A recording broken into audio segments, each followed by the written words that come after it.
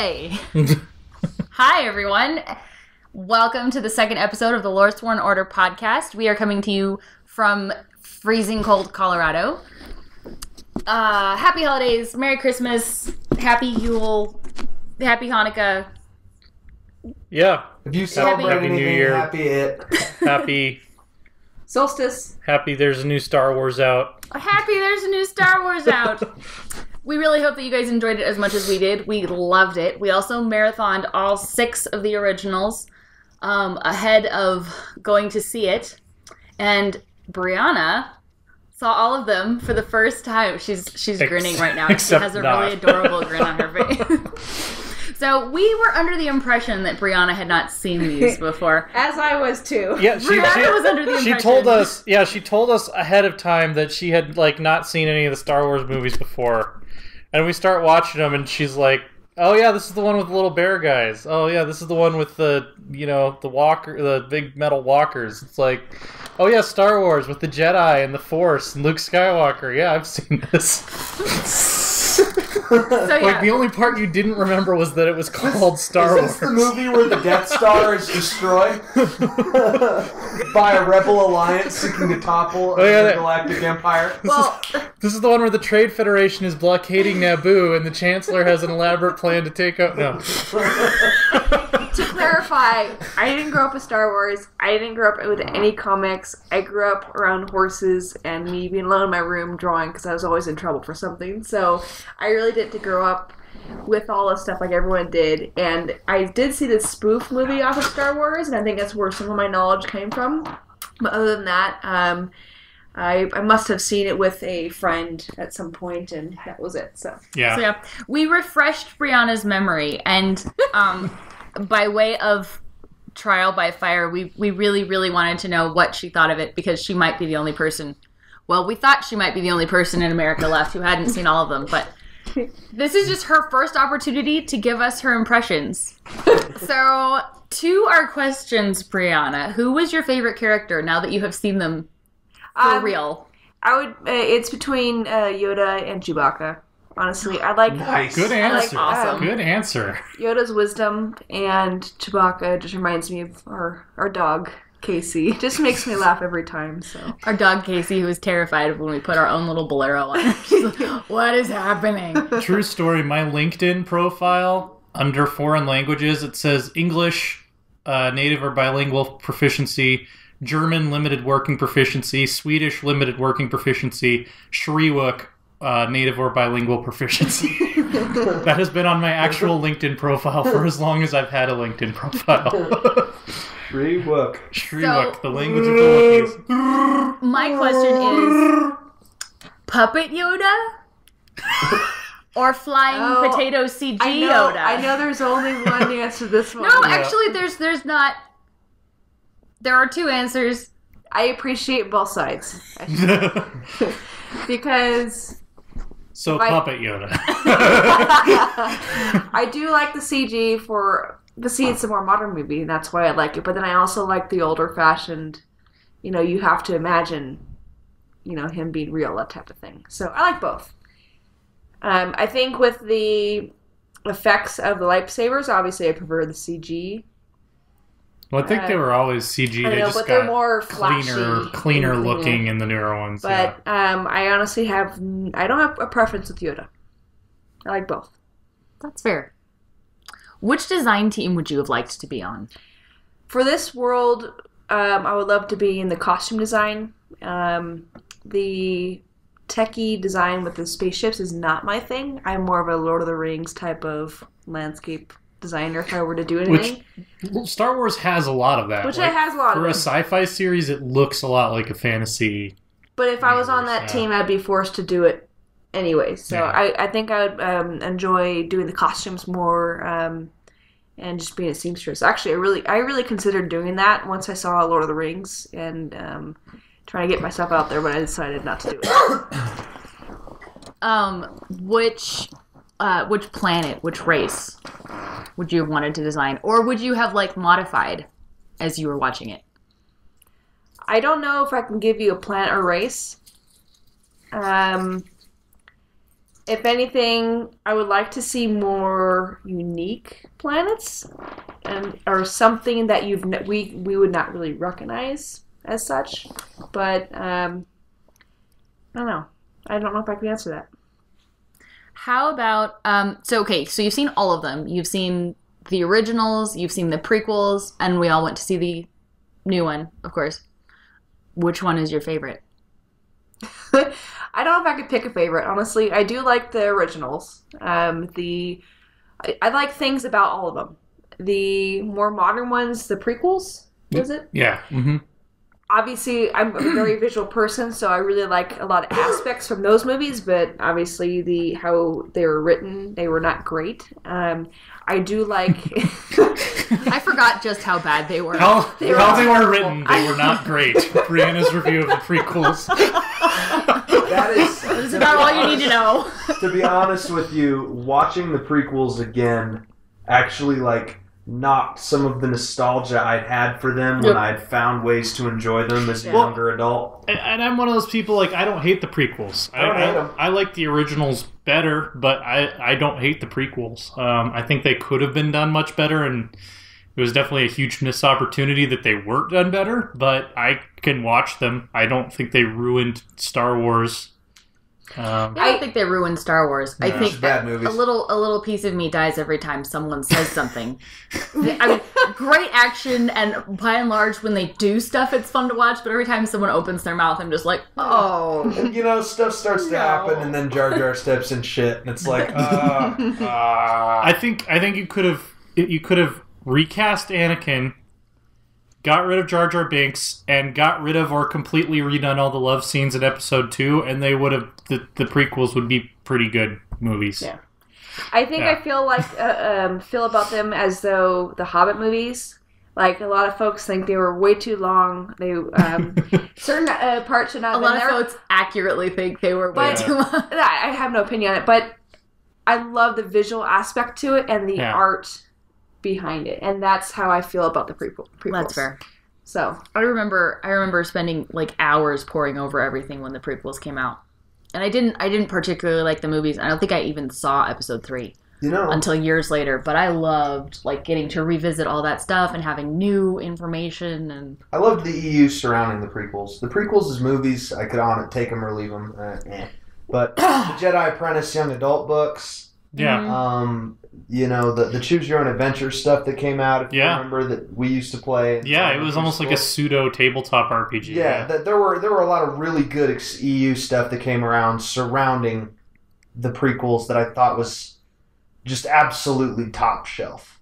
I mean, like I just read, uh, for example, I just read a novel set not long after Revenge of the Sith entitled Kenobi about a span of Obi Wan's exile on Tatooine that is not just one of the finest Star Wars novels I've ever read. It's it's frankly one of the finer novels I've ever read. So some good stuff came from it. So lots of fine novels and stuff. Yeah, almost everybody who's not George Lucas that has written about that era is trying to sort of fix it. Like I haven't watched the Clone Wars CG series, but I hear that they like try to make Anakin and Obi Wan's relationship and motivations in Episode Three make a lot more sense, which is cool. Yeah. So Well, I, then I there's like the, the- Clone Wars. Absolutely revolutionary Genndy Tartakovsky animated. I love those. Yeah, I love anything cartoons. Genndy Tartakovsky Like has ever done, Samurai Jack, but with Jedi, It which was is coming back by yeah. the way. staggeringly brilliant. Yeah, Staggeringly brilliant. yeah. So yeah, to be honest with you, I would say that that, that is my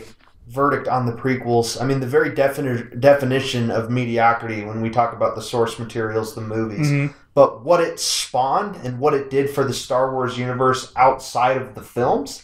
Uh, yeah, I don't have many complaints. All the books I've read are great. The games I've played are great. So really what we're saying is thank you George Lucas for making the prequels.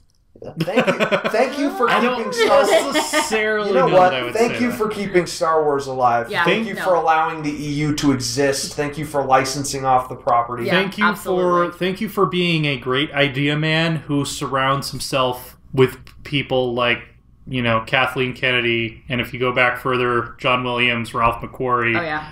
uh, Irvin Kershner, who can take your big ideas and turn them into really interesting human stories. Speaking Yeah. of really interesting Yeah. human stories, Brianna, what do you think is the point of Jar Jar Binks?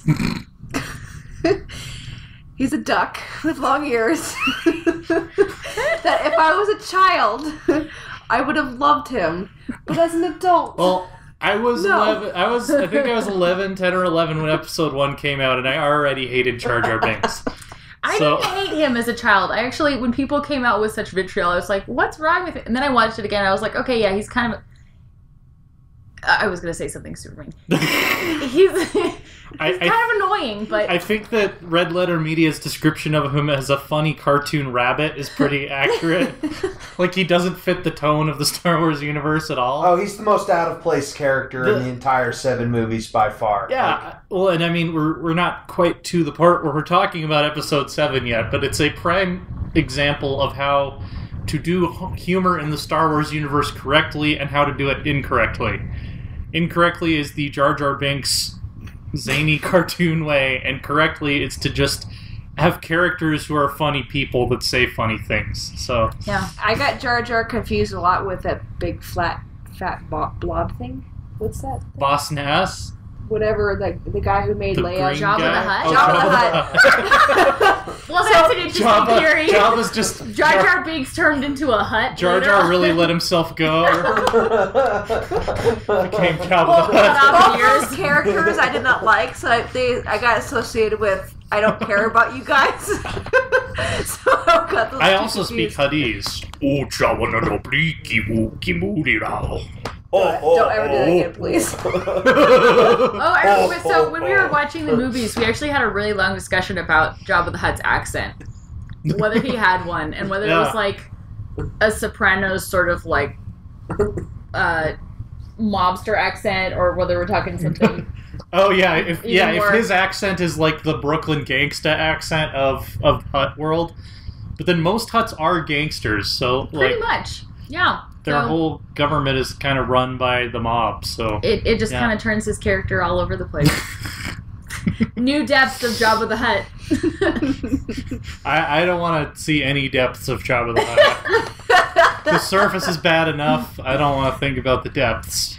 nope. So, how about you guys? Did you, as you guys were watching it, did you notice? I mean, we discussed the intricate political situation of the prequels ad nauseum in order to keep ourselves entertained. But uh, watching them again, did anything new strike you? Prequels or I originals? think I think it was this was only the second time that I had watched all six movies in chronological order, like in a short period of time, um, and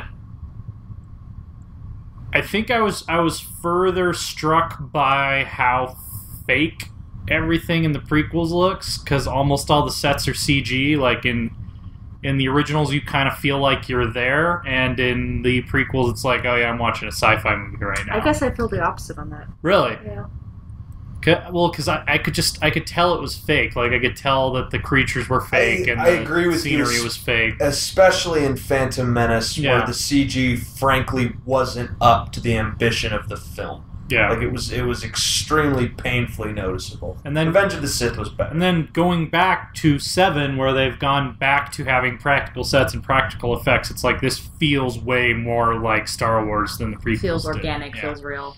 yeah. So Because you can actually still go to the sets in Tunisia. You know what? It's funny that we're talking about this and episode 7 keeps coming up. I would love to ask J.J. Abrams and his team, it's like, how much did you study the prequels as, like, uh, let's learn from where these failed, frankly. Let's borrow the few things where it succeeded, Mhm. but let's learn where they failed because so much of the decisions that were made in Force Awakens actually felt like rejections. I think that Phantom was Menace. absolutely a factor. Yeah, Attack of the Clones, and they were all the right decisions. I mean, the the prequels had manifold weaknesses that I'm glad that the new movies are jettisoning.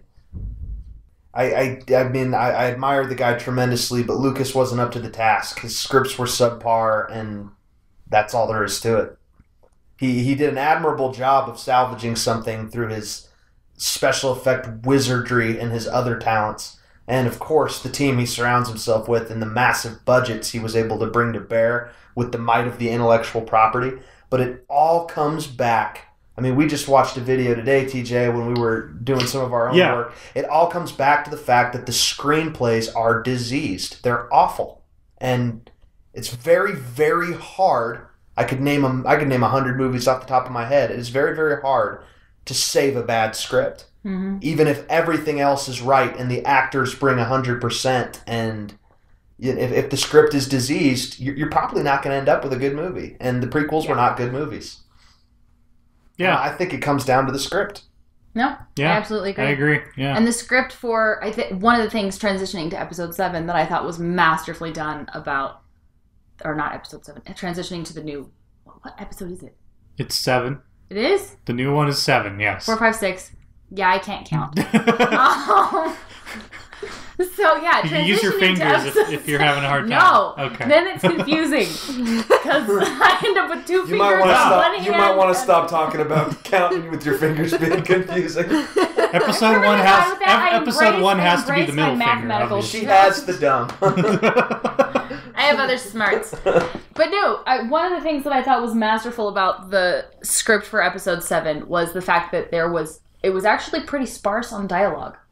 A lot of stuff happened, and they did a lot of they did a lot of character development, and they did a lot of exposition of worlds and of what's happened since then without people having to say stuff. It goes back, I think, to what was really the strength of The Empire Strikes Back, which is, by the way, possibly one of the three or four finest sci-fi movies ever made. Like upon rewatching it, Yeah, good lord, Empire was a good film, and it was a thin film as far as spoken exposition, and there, there were a lot of moments that rode by just on their tension and on their action and on a couple lines. it was still heavier on the dialogue though than episode seven. Episode seven was really very light on dialogue, but everything with, that was there had a gr- had a had a purpose, told us something. Yeah, that was a screenplay that was workshopped a lot. You can tell. What did we all think of it? I I I loved it, but I'll let you guys. No, I, Talk I first. loved it too. I, I absolutely loved it. I Finest think film it's, in the Star Wars series apart from Empire. I I'm kind of I think it is. I liked it better than Return of the Jedi. I'm not sure on New Hope. I'm gonna need to wait for some time to go past. I think New Hope was obviously more iconic, but I enjoyed TFA more. Yeah, no, I think it. I think it was excellent. I think the characters are excellent. I think the story is excellent. I think the sets are excellent. The script is excellent. Did I? I might have said script twice. if it if I did, it's because that's my favorite part of the movie. Can you guys think of any movie that was so relieving and just it was there was so much joy to have it proved to be so yeah, good? no, I was just happy to God. be like we're back in the era where Star Wars is amazing and not everybody's bitching about the prequels. You could somewhat almost justifiably, but You could almost hear like an audible sigh of relief go up in the theaters when Yeah. the credits Yeah. started rolling. And everyone is really laughing and getting into it. yeah, like Yeah. yes. it's definitely the funniest uh, Yeah. Star Wars movie. Like the character dialogue is just it's it's witty, It's witty and and, it's sharp. Finn and it's is a riot. forced. Finn is a riot. yeah, no. hilarious it's, character. It's very it's it's modern uh, character dialogue writing, which is slightly clashes with the tone of the original trilogy, but I think it works in bringing Star Wars into the modern era while still keeping the parts of it that are important. That was actually the thing that I found so compelling about it because I don't think any other franchise has spanned generations quite like this. Yeah, Um, Star Trek was, I mean, essentially they just took all the old characters that everybody knows and loves and they diverted them onto a new timeline, but they're still exactly the same characters and they're going to do new adventures in the same timeline. Um, they're characters that were designed in the 50s, 6, 70s. Um, and then the same thing for all the Marvel the Marvel heroes. We have heroes that were designed in the 30s and the 40s and the 50s. and have been and- rebooted a million times. Star Wars yeah. hasn't been rebooted. Well, and I say I say that loving the Marvel movies. I really like what Marvel's doing with them. Um, and I adored Guardians of the Galaxy, and Yes. I'm Oh, yeah. super excited for the movies this summer.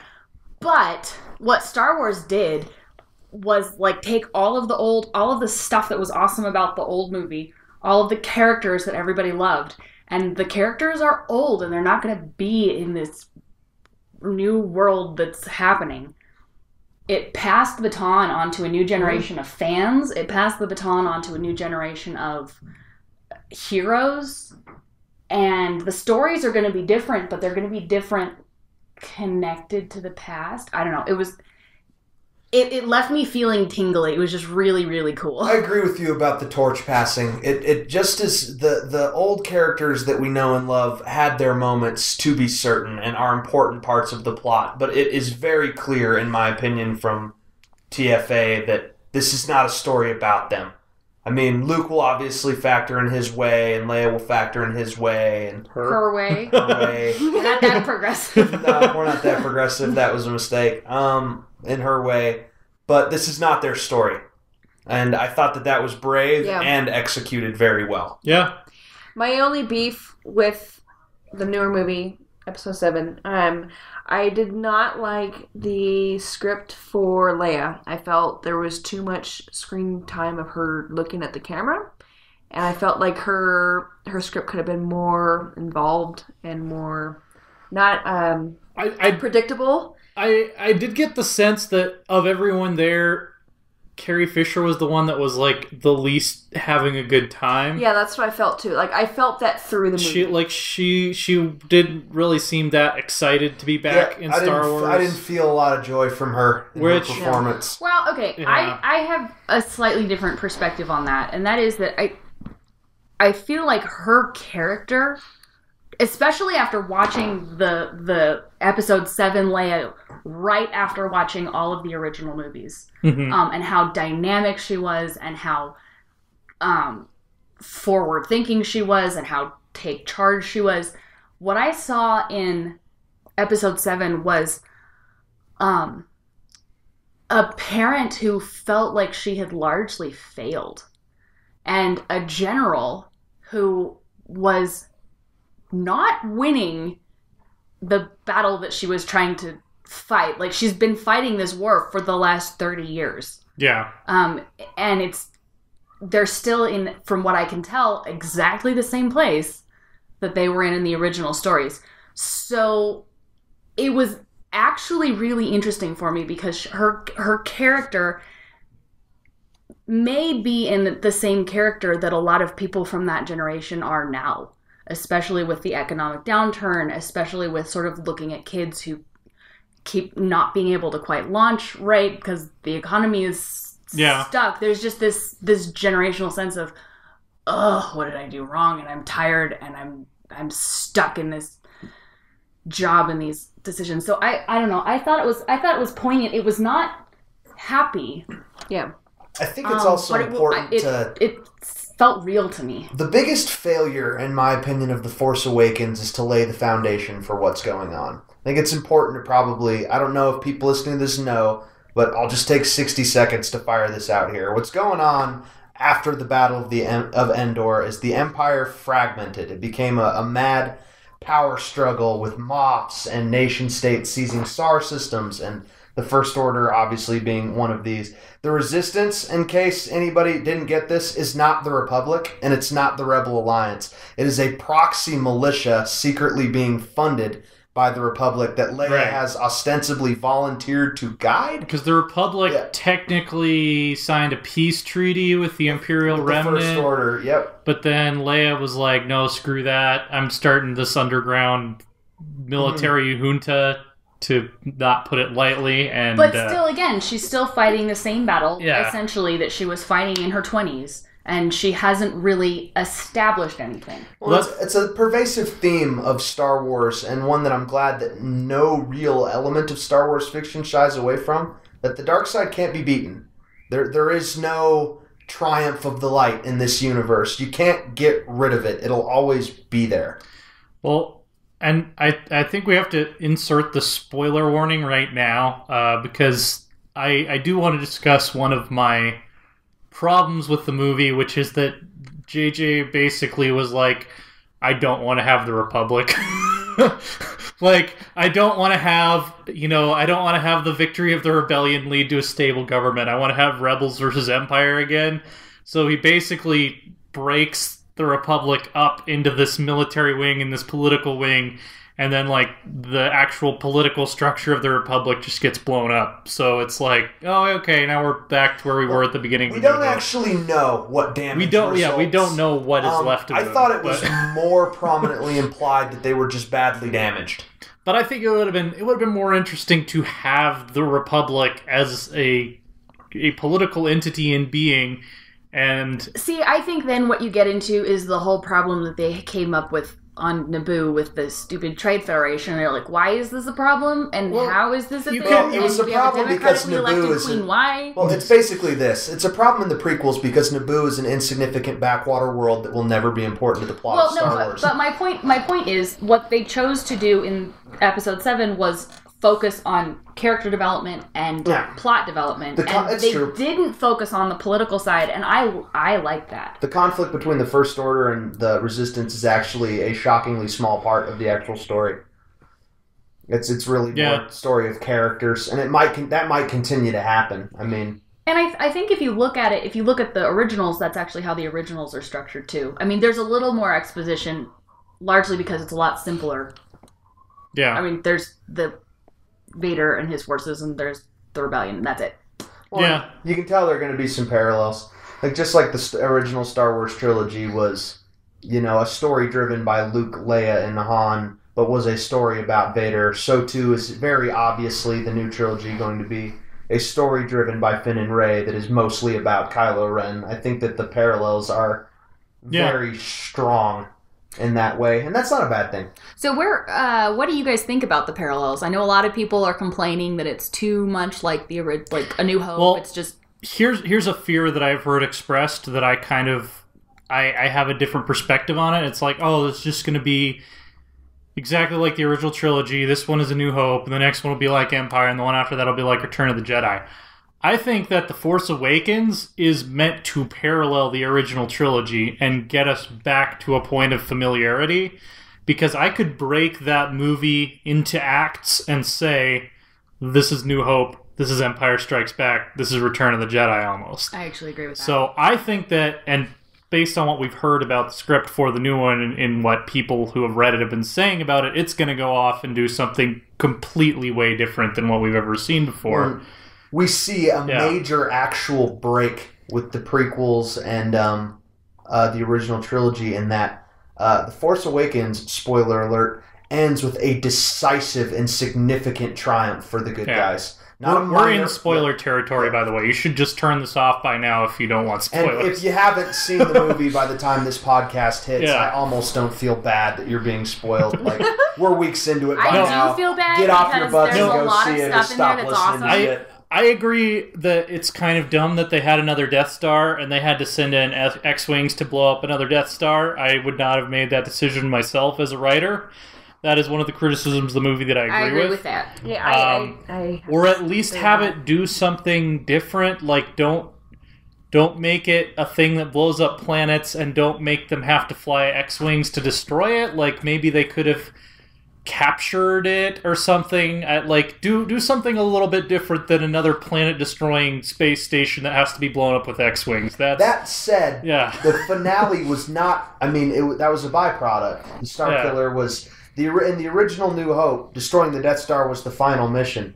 What happened there was way more about what happened between Finn Rey and Kylo Ren than Yeah. Star Killer. Yeah. Like it- it's just another example. And and again, I will say this: the the triumph that we end TFA on is is total, which is actually a thematic break from the other trilogies. that's true we don't know what's left of either side by the end Yeah. of the No, Force and Awakens. Kylo Ren, the right hand man and the avatar of the bad guy, gets his ass handed to him. yeah It, that it, it call it what it is. The bad which- guys get routed. Which I, I do have to say something about that. I fo- found it very odd that Rey and Finn could take pick up a lightsaber and be just as good as Well, him. the choreography could have done a better job of showing Yeah. that he lost because of his wounds. Well, here, Yeah. here's here's the thing, and here, if watching it a second time, here's kind of what I saw with that. I do think that's that's still sort of a valid criticism, but um, Kylo is not well trained. They make him out to be this, you know, he's the Sith Lord, he's the new Darth Vader, but he's really not. He's like a punk kid. He's like especially yeah, especially He's- since he's not in control of anything. he's, he's- talented he's- with the Force. Snoke is propping him up. Like it's like your your your boss's punk nephew who gets like made VP of the company and he thinks he's all hot shit. But he like he's master of the Knights of Ren, but he's probably not even on the level that like Obi-Wan was in episode 1. Is what it seems No, like to well, me. Yeah. you look at his combat style; they very intentionally made him raw as hell. He's more talented in the Force than So- he's a swordsman. Point two, he he does get shot with a bowcaster by Chewbacca, which they've been building up and making a big deal the whole movie of. Oh yeah, that thing really packs a punch. Like they show it knocking a Han loves stormtrooper yeah. like thirty meters. And Furthermore, he is actually fighting a trained stormtrooper who's literally been like bred to be a killer Right, machine. and so- and he he destroys Finn for the most part. Like Finn gets one good shot in on him, but Finn is losing that entire fight. Yeah. Like right up to the point that he gets knocked and out. by the time Rey gets to him, he's had his arm cut open and he's been bleeding all over the snow. Which, However, as a Rey guy is who- the prodigy. As That's a guy who has boxed with bruised ribs, it's hard. Like Which- I, I'm fine with him being deeply handicapped in that fight. which which hard. which brings me to Rey's abilities, which is the criticism of Force Awakens that I most agree with, but with an asterisk.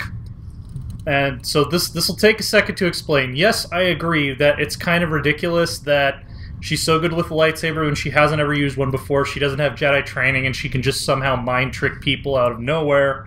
At least she doesn't have Jedi training that we know of. Which I love the fact that she mind tricked James Bond. By the way, just gonna say that. Was that Daniel Craig? Yes, I knew he Daniel was in the movie, but I didn't know that was him.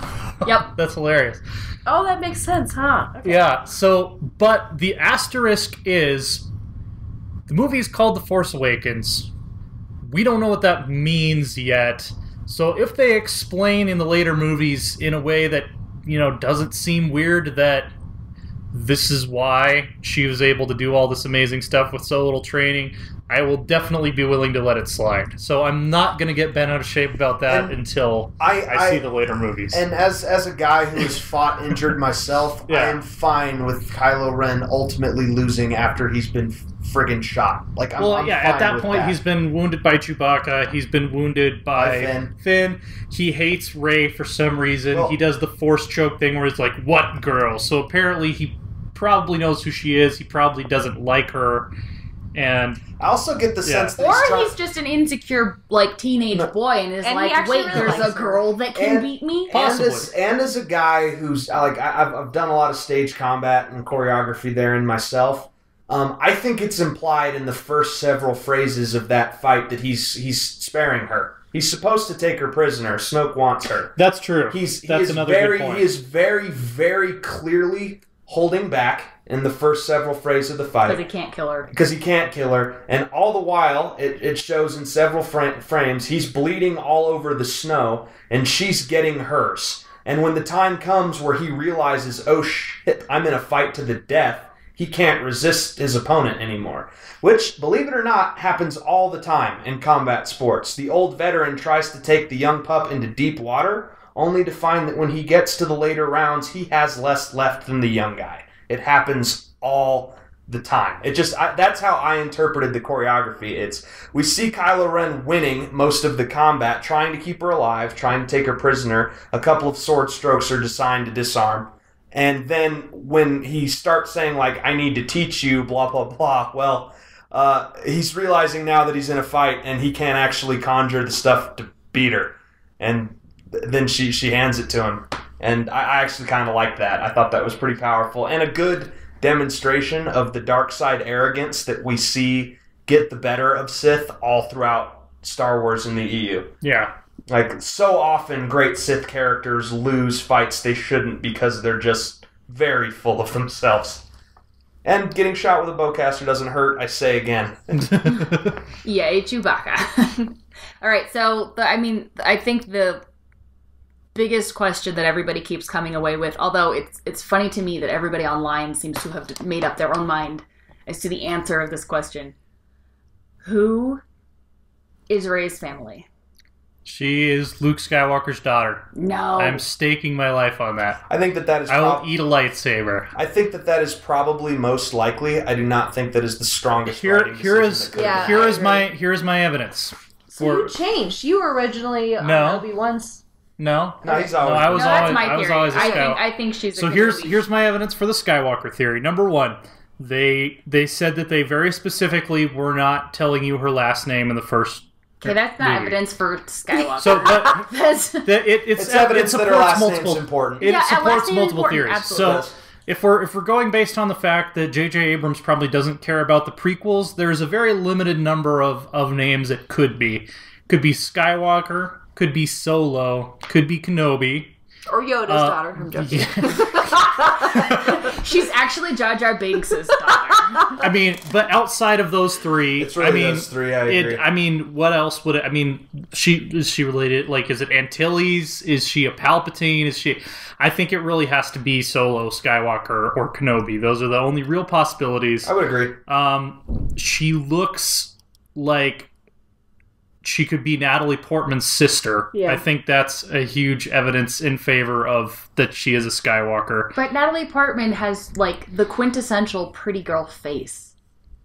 That is Just- what like Look at young but girls look at look them like side by side, down to like the how movies. their hair okay, is done. Okay, like, as adjudicator, I will say that is evidence. It is extremely weak evidence. it's Thank my you. I on consider that to be strong evidence, and um, the whole thing with you know Luke's lightsaber calling out to her, which I I I will grant that might be a red herring, but I think that she is going to be Luke's daughter. especially since that is not Luke's lightsaber. That is actually originally Vader's lightsaber that was held by Yeah, Kenobi. but for it was. Luke's and it, most was- it was Luke's recently. training lightsaber. Well, and, yeah, I also don't know that I like Yeah. that lightsabers are suddenly force artifacts, but I, that's, that's I wasn't a my- I huge fan it, of that. actually. I wasn't a huge fan of that either, but I'm not too You know, bothered by it. I will say this: I think that her being a Skywalker is the most likely theory I've heard. I think it is a weak writing decision. Yeah, I I agree. I don't think it. I don't. I, I would. I would. In order to not be disappointed it's less by weak that than reveal. a solo. Yeah. In order to be disappointed by that, re- not to be disappointed by that reveal, though, I would need ample script justification for that happening to Luke. Basically, him knocking somebody up See, and leaving. I don't Rey think, on and I've had I have had this argument for paragraphs on online already, not with you, but with other people. I don't think it's at all weird for Luke Skywalker to have a kid because, you know, who forbade Jedi from having relationships? Well, it was the Jedi Council pre Order sixty six. Um, we're now rebuilding the order from one person who has only had two con- contact with two other Jedi. He only had contact with any other Jedi, period, for about five years of his life. Never was fully trained. Yoda, you know, specified he never completed his training.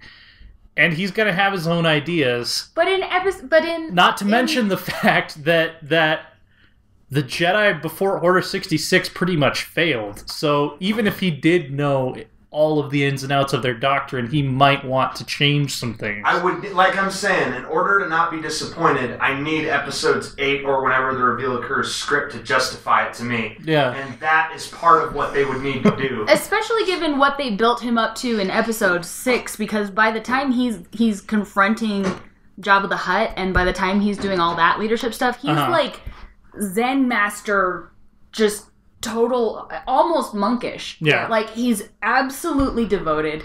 He he loves Leia, but he, all of his emotions, all of his like passion, is kind of subdued, and he's focused it But up into some into devotion to the Force. But here's here's the coup de grace. The old Jedi Order believed attachment was the path to the dark side. And for Anakin, that was true originally, but it was Anakin's attachment to Luke that led him to destroy the Emperor and bring balance to the Force. Therefore, the new Jedi might not have such a negative view of attachment. I would, I would need, and but again, leaving, I would need, I would need. We this- need to give a second because everybody's mind was just blown, Dylan. Just give, give him, give him The- a minute. Give him a minute. the script the script of the following movies needs to justify it. I Luke is canonically put put up as like a, a Jedi worshiper, basically a holocron head.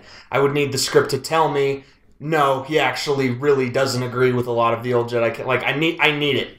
I need it. Whereas I See, think I, we'll get I it. would I would much rather see her be a Kenobi, largely just because that gives it that diverges further from the like. it's a shift. It's a good well, shift. it's, Here's it's a the good thing, shift though. and canon gives us a lot of possible mothers. It does, but I think that's a poorer decision because you have to explain this whole convoluted like Obi Obi Wan Kenobi had a relationship with this character who you never saw, who then had a don't know that you have kid, to who then had that. a relationship, spent, like, a kid who you never saw. on Tatooine by himself, And- thinking the Jedi were dead. who And married gonna this ex- third character you never saw, and then they married had a daughter named Rey. You're Like, gonna have to explain that anyways if it is Luke's daughter anyways. Yeah, and Yeah. you need to. And Luke's. It's either you got to make a decision. Either her mother, or depending on who the important parent is, either the other parent is insignificant or they aren't. I mean, And here's here's my other thing. He Luke has to abandon his daughter for some reason. well, I think that- that, reason would be obvious if it's if she's a Skywalker, Kylo Ren and Snoke, when he massacres, So he abandoned his daughter when Kylo Ren was five and still his apprentice. no, No. that's- Kylo Ren is her are about older the than same- Ren. They're but not. They're about the same They're age. not. no, they because Oh, really? she yeah They're she not. she was a little kid when he went crazy and killed everybody. When Yeah. he, he Kylo Ren is in his late twenties, and he Yeah. in his late teens is when he I think is implied I- that he. I'm See, gonna I need to he's younger than Wikipedia that. I, this. yeah, Yeah, me too. That's actually Let's So- clear this up. because I think I think they're more similar in age. They're not. What do you guys think about in her flashback? Um, the voice that was talking to her, one of the Yeah, the voice that clips talks to her, Obi-Wan it's for sure. It's Kenobi. That's the only voice yeah, that that's calls her name. that's It's Ewan Kenobi. McGregor. So Um, that it's- it it's is confirmed McGregor to be and- Ewan McGregor. Yeah. Um, What do you guys feel about that?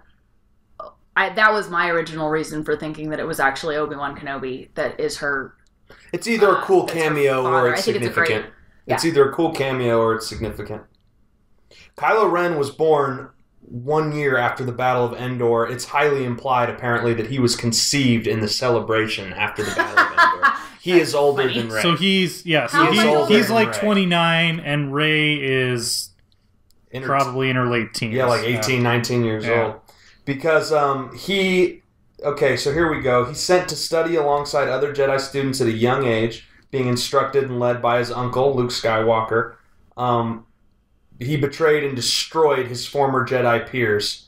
Um, I think it's implied that, especially that scene where we see Kylo Ren in the rain with Mhm. First Order shock troopers, I think it's implied that he kills his fellow Yeah, so. Ky- Yeah, oh, Kylo absolutely. Kylo is 10 years older So, than Rey. So whether- Rey is 19 at the beginning Yeah. and Kylo's 29. Whether Got it. whether Rey is a Skywalker or Kenobi or whatever, I think leaving her on Jakku post Kylo Ren betraying and killing everybody is makes sense. And I think Lor San Tekka, the old guy at the beginning, was like her Obi Wan. He was supposed to watch out for her, and he was supposed to give her the map piece. You know, if When she was ready. ever contacted him, or if she met some goal where she needs to come find him now. So, Yeah. Yeah. Well, it'll be it'll be interesting. I'm really excited to see what happens, and regardless of who her parents are, I'm super excited for what they did with her character because I think it was just masterful. And let me recommend Aftermath to Star Wars fans. It's it's a great book, and I'm super glad I read it before I saw TFA. Like wonderful foundational information. yeah. So I, I recommend it. Awesome. Well, we love the movie. If you haven't seen it, go see it. If you have seen it, go see it again. Um, You'll you'll catch some stuff you've missed for sure. I still I think it would be hilarious if we could get Star Wars to beat Gone with the Wind, but I don't think that's ever going to happen. Although I was looking it up, adjusted for inflation, Gone with the Wind is still the best, the highest grossing movie ever by actually a lot. Uh, Star Wars, the original one, is actually second, Really? Okay. Wow. Okay. adjusted for inflation. Interesting. so yeah, Yeah. I Oh, think yeah. I think Gone with the Wind came out when there was a lot less to do. Gone with the Wind is a great movie. Gone with the Wind is a fantastic movie. But it's not Star Wars. It is not Star Wars. it is not Star Wars. Uh, but so before we before we go, let's do a little bit of year-end reviews. We have a lot of year-end reviews on our blog. If you guys want to check that out, loresworn.com. You can check out all of our reviews. We have a bunch of them. Plug, plug, plugly, plug, plug. so for you guys who were doing a lot of gaming this year, what was your favorite moment in gaming? I didn't do a lot of gaming this year, unfortunately. Um, Well, I mean, when you weren't in law school. yeah, I, I, I didn't. This year, I actually, I, I think of all the years I can remember caring about video games was the year where my time was the most consumed by other things, and I did not get to. Like, I, I keep a list on my phone, and formerly kept a list in on my computer, and then before that on paper, even of what I wanted to get to this year. Uh-huh. And this is the only list since I started keeping those lists 10 years ago where what I didn't get to numbered in the double digits that I wanted to get to. So, and you could probably tell by my, my, my contributions to our year end lists, my experience of the year was frankly incomplete. I haven't even finished Telltale's Game of Thrones yet. Well, mine was arguably more incomplete. I didn't play Witcher three. Yeah, I, I got like to the, I got to game the major title that you did not get. Okay, to, but the question still is, in spite of the fact that you guys didn't get to three quarters of your list, what was your favorite moment The in Yeah, final- the stop you prequeling, Dylan. the final the final ten hours of Witcher three. Yeah, The final ten hours of Witcher three that made me stay up way later than I should have during a final studying period to finish it are taken as a chapter. It's not an act is a generous term, but taking as a chapter of gameplay story.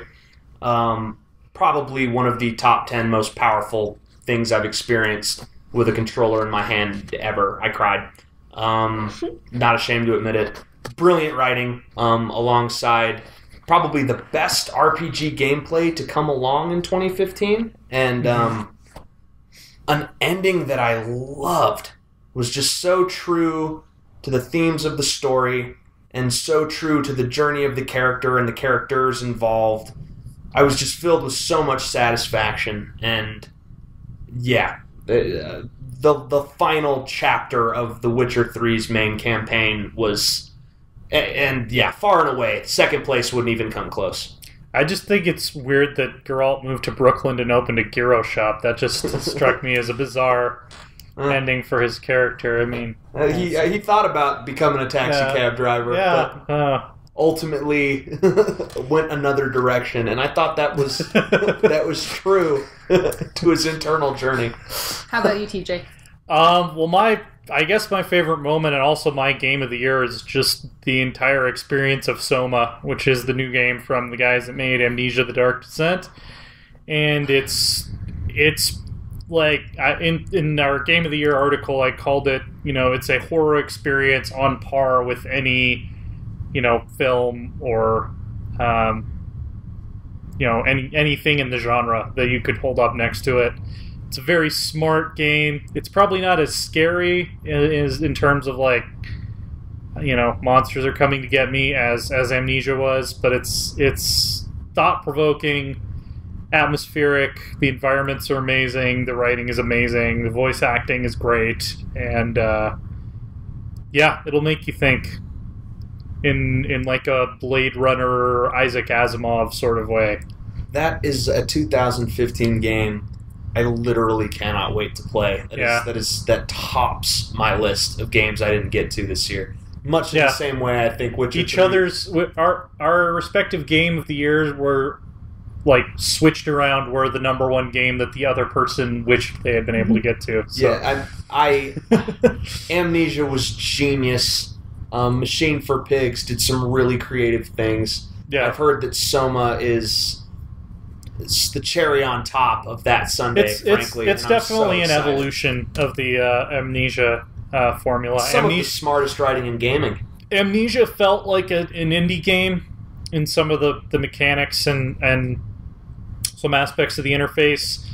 Soma doesn't feel like an indie game at all. It feels like a, a polished, you know, release from a AAA studio. I've seen some I've seen some gameplay videos and stuff Yeah. on Steam and whatnot, and it it strikes me as all the best from the revolutionary System Shock 2, but with that that classic amnesia flair and that genius writing. it's this is this if System Shock 2 is is like the benchmark. This is Soma's like System Shock 2 with a grad degree.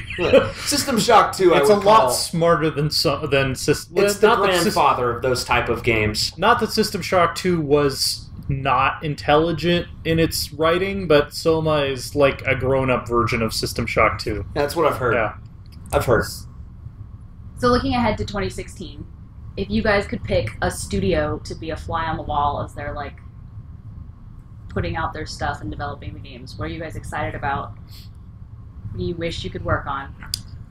Up to Edmonton, man. I want to find out what's going on with the Mass Effect series. Yeah, I'm. I, I was conflicted about this because I made Mass Effect Andromeda was my number two most anticipated game, and we just learned like between when the article came out and when we recorded this that the director of the game left with like less than a year of production to go, which has me a little bit worried. Um, And it makes me wonder why he left. Like truly, Yeah. not that condensed PR it hasn't it hasn't made me a lot worried just because in my opinion there has not been a subpar bioware game since dragon age 2 and there hasn't been a subpar mass effect game ever so they they still they still have by benefit of the doubt the the mass effect team does at least but it is a little bit concerning um, because bioware has been known to make missteps here and there um, whether it be Dragon Age 2's case where a lot of things went wrong, or, you know, Mass Effect 2 and 3, you can point to some smaller things that went wrong, um, even though they were both excellent games uh, looked at as a whole. But more wanna my curiosity with Mass Effect more stems on where they're taking the series. Mass Effect and Commander Shepard are almost symbiotically tied. Like yeah, the original three Mass Effect games are the story of I want to say possibly the most iconic PC in history, like Commander Shepard. yeah, player Um, character for those of you not personal role computer. playing, and it, it, Yeah. it- and I use it as a, an RPG term. Yeah, and that journey defined the Mass Effect trilogy. Your journey as your Commander Shepard, the direction they are taking a new.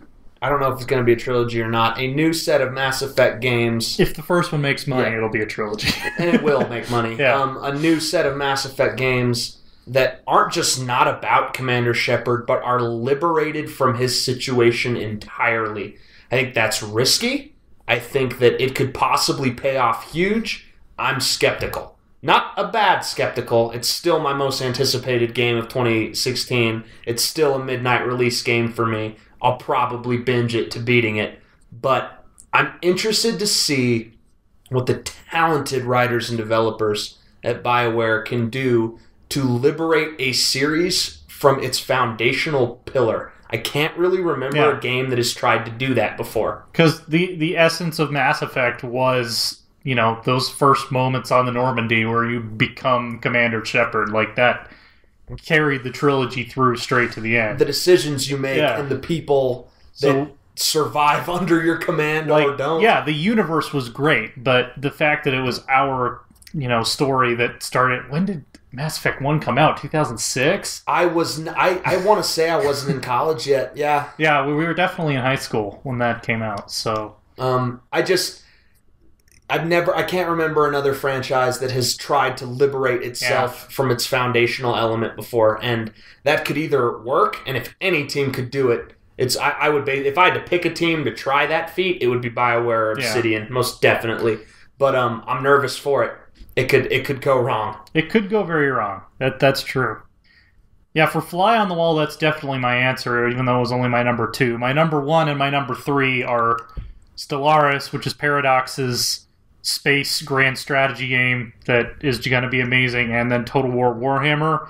And both of those, I wouldn't really want to be a fly on the wall because they've already shown me enough where it's just like, give it to me And already. as far as Stellaris goes, need to know it's like if, if Vegas offered odds on Yeah. like which game comes out next year that is just most likely to be amazing, like that I'm not nervous about at all, it would probably be Yeah. Stellaris. Tell- I'm I'm not scared. Paradox Development Studio is bar none my favorite group of people making video games today. I mean, Crusader Kings 2 and Europa Universalis 4 are my number one and two most played games on Steam. I have like 600 something hours in Europa and just past 800 hours in Crusader Kings 2. So, oh, and, yeah. I mean, Paradox has mastered the deep strategic sandbox game like Beethoven mastered music. I mean, Yeah. that is that is their thing. They're incapable of doing a bad job the, on it. the only times that, that they ever put out something bad, it's because it's buggy and then they fix it. So yeah, and I mean, it they haven't left a product in a bad state for the entire time that I've been. does a studio do a better job than Paradox of continuing to make an already good release that they've made better through expansions and patches, and they're incredibly attentive. Yeah. So Stellaris is going to be awesome. It's inevitable. Yeah. And Total War Warhammer, as far as that goes, it's it's fantasy Total War. I mean, yeah, come on, that game. I, I that game is going. They would have to do a lot wrong to mess that up. I'm psyched for it. definitely. And on that note, I think we're just about out of time. Thanks, guys, so much for joining us. Um, if you have thoughts on Star Wars or your games of the year, let us know in the comments. Um, we'd love to hear from you. You can check out all of our reviews on loresworn.com. You can also follow us on Twitter at loresworn order. You can follow TJ, who tweets prolifically. Yeah, I am probably the the, the Twitter holic of the bunch. It's uh, uh, at Asa TJ, which is A S A T J Alpha Sierra Alpha Tango Juliet. For those of you that like the military phonetic For those alphabet. of you that And you cannot find to- me on social media while I'm off shaking my fist at a cloud. yes, In today's news, young man fears change. yes, yeah. It's okay. We tweet for him. Anyway, thanks for listening, guys. Happy what? New Year. You what? we'll see you guys later. Hey, wait, what?